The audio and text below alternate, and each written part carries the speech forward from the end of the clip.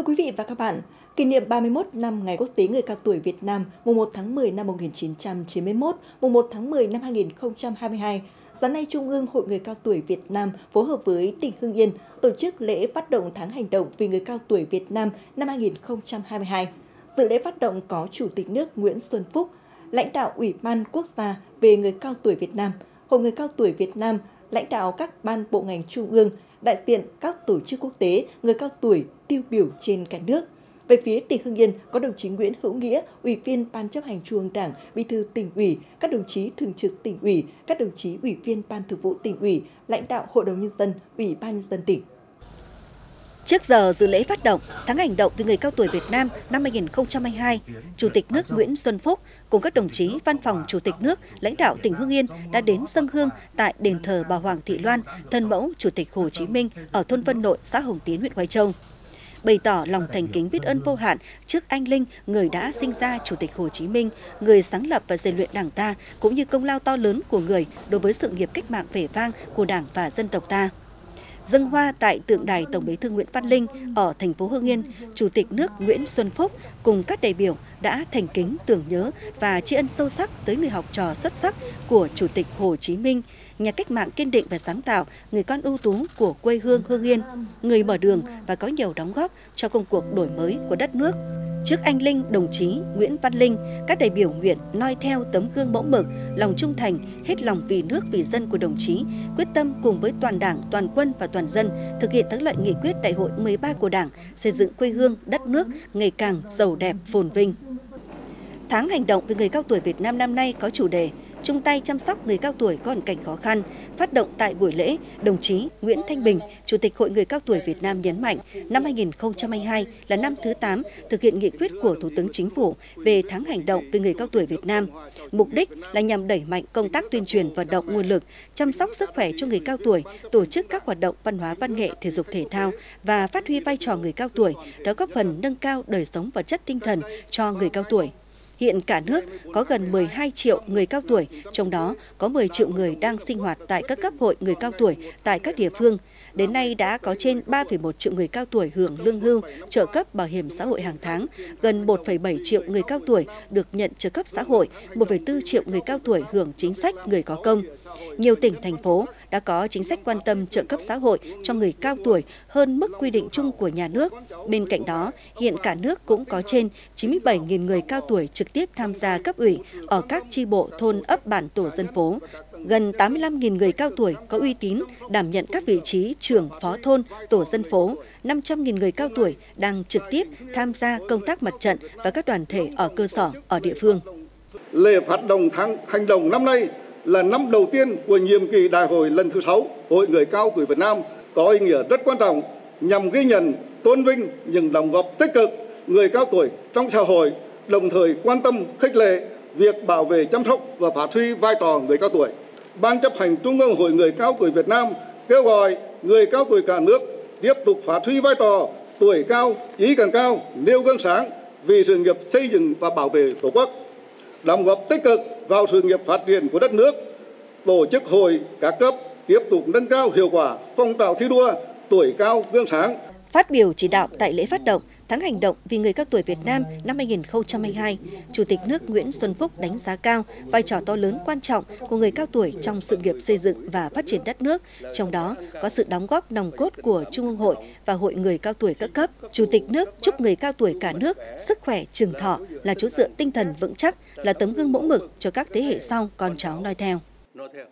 Trong năm qua, Đảng và Nhà nước ta luôn quan tâm, quan trọng công tác chăm sóc người cao tuổi để người cao tuổi được chăm sóc trong điều kiện tốt nhất. Chính vì vậy, tôi đánh giá cao Trung ương Hội người cao tuổi Việt Nam tổ chức lễ phát động năm nay tiếp tục chủ đề mang ý nghĩa nhân văn sâu sắc là chung tay chăm sóc người cao tuổi có hoàn cảnh khó khăn. Tôi mong tinh thần chủ đề của lễ phát động này sẽ lan tỏa sâu rộng luôn trong nhận thức, trách nhiệm và hành động của các cấp ủy, đảng, chính quyền, của mỗi người dân và toàn xã hội để mọi người già, người cao tuổi Việt Nam, đặc biệt là người cao tuổi gặp hoàn cảnh khó khăn, không nơi nương tựa, luôn nhận được sự quan tâm, giúp đỡ, chăm sóc tận tình như truyền thống kính già trọng thọ của dân tộc ta. Nhân lễ phát động và tổ chức các hoạt động hưởng ứng tháng hành động vì người cao tuổi Việt Nam năm nay, tôi đề nghị Ủy ban Quốc gia về người cao tuổi Việt Nam, Hội người cao tuổi Việt Nam, các cấp quỹ, chính quyền tiếp tục quán triệt sâu sắc, triển khai có hiệu quả chủ trương, đường lối của Đảng, chính sách pháp luật của nhà nước về người cao tuổi,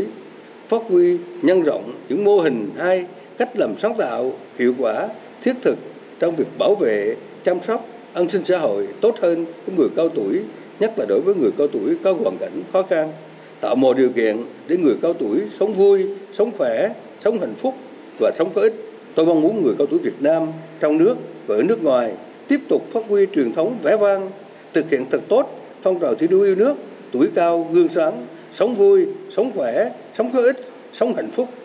để đóng góp tâm huyết, trí tuệ, kinh nghiệm của mình xây dựng đất nước có mục tiêu dân giàu, nước mạnh, dân chủ, công bằng, vâng, văn minh. Phát biểu hưởng ứng tại buổi lễ, đồng chí Bí thư tỉnh ủy Hương Yên Nguyễn Hữu Nghĩa bày tỏ Hương Yên rất vinh dự tự hào được Trung ương Hội Người Cao Tuổi Việt Nam chọn là nơi tổ chức lễ phát động Tháng Hành động vì người cao tuổi Việt Nam năm 2022. Đồng chí Bí thư tỉnh ủy nhấn mạnh, hiện Hưng Yên có trên 200.000 người cao tuổi. Những năm qua, cùng với việc đẩy mạnh phát triển kinh tế, tỉnh Hưng Yên thường xuyên quan tâm lãnh đạo chỉ đạo các cấp các ngành địa phương thực hiện tốt chính sách an sinh xã hội, coi đây vừa là mục tiêu, vừa là động lực để tỉnh phát triển bền vững. Trong đó, công tác chăm sóc phát huy vai trò người cao tuổi được đặc biệt quan tâm. Tỉnh đã ban hành nhiều chính sách quan tâm đến người cao tuổi, cao hơn mức bình quân chung của cả nước. Với nhận thức sâu sắc người cao tuổi là vốn quý của quê hương đất nước trong thời gian qua, Hưng Yên ban hành nhiều cơ chế chính sách của tỉnh để góp phần nâng cao đời sống vật chất tinh thần của người cao tuổi như hỗ trợ toàn bộ kinh phí để mua thẻ bảo hiểm y tế cho 74.000 người cao tuổi từ 60 đến dưới 80 tuổi, có phần đưa tỷ lệ người cao tuổi có thẻ bảo hiểm y tế đạt 100% trên toàn tỉnh. Mở rộng đối tượng người cao tuổi được hưởng trợ cấp xã hội hàng tháng đối với 13.000 người cao tuổi từ 75 đến dưới 80 tuổi chưa được hưởng các chế độ của nhà nước. 100% người cao tuổi cô đơn có hoàn cảnh đặc biệt khó khăn không nơi nương tựa được nuôi dưỡng, chăm sóc ở tại các cơ sở trợ giúp xã hội. Hàng năm ngoài việc chúc thọ tặng quà người cao tuổi theo quy định. Người cao tuổi trên 90 tuổi trở lên đều được tặng quà trong các dịp Tết Nguyên đán. Điều đó thể hiện truyền thống đạo lý tốt đẹp của dân tộc, tình cảm, nghĩa vụ và trách nhiệm của các cấp ủy, chính quyền, đoàn thể và cộng đồng xã hội của thế hệ sau đối với thế hệ trước. Các cấp hội, người cao tuổi trong tỉnh đã phối hợp với các ngành, đoàn thể đẩy mạnh công tác chăm lo người cao tuổi, xã hội hóa phong trào, toàn dân chăm sóc, phụng dưỡng và phát huy vai trò người cao tuổi nhất là người cao tuổi có hoàn cảnh khó khăn. Hiện nay Hưng Yên có gần 7.000 người cao tuổi đang tham gia công tác đảng, quản lý xã hội và hoạt động đoàn thể ở các cấp đặc biệt là ở cơ sở. Nhiều người cao tuổi có uy tín trong cộng đồng dân cư thực sự là tấm gương sáng về đạo đức, lối sống, xây dựng nông thôn mới, giữ gìn truyền thống văn hóa của dân tộc, địa phương, chấp hành tốt các chủ trương đường lối của Đảng, chính sách pháp luật của nhà nước để mọi người trong cộng đồng học tập và làm theo